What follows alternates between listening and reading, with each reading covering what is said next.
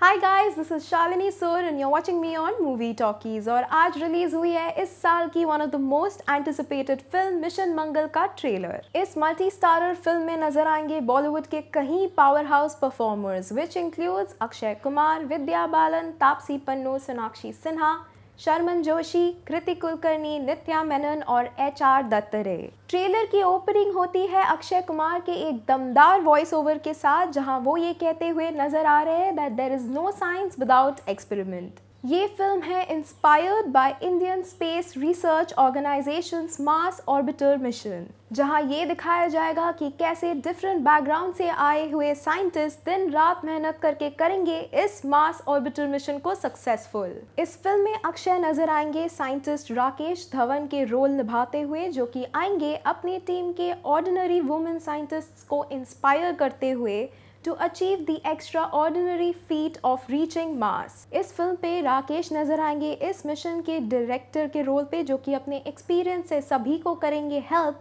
to make India the first country to reach Mars in its maiden attempt, in spite of all the budgetary constraint and limited technologies. इस film में विद्या बालन भी आ रही है एक enthusiastic scientist के role पे नज़र who is seen urging Rakesh to plan this mission to Mars film के सभी किरदार भी जम के मेहनत करते हुए आ रहे हैं नज़र to launch this mission and make this successful film के ट्रेलर से ये लग रहा है कि इंडिया की ये फ़र्स्ट स्पेस मूवी होने वाली है। काफ़ी एक्साइटिंग और काफ़ी ग्रिपिंग जो कि हर एक दर्शकों का दिल भर देंगे विथ इमेंस प्राइड क्योंकि ये है स्टोरी डिटर्मिनेशन की और इमेंस होप की, जो कि होगा succeed in tapping the audience patriotic way इस फ़िल्म को डायरेक्ट किया है डायरेक्टर जगन शक्ति ने और ये फ़िल्म होने वाली है फिफ्टीन अगस्त को इंडिपेंडेंस डे के मौके पे बॉक्स ऑफ़िस पे release So guys, this was our trailer review of Mission Mangal. If you liked it, don't forget to leave comment down below in the box and do not forget to like and subscribe our channel Movie Talkies.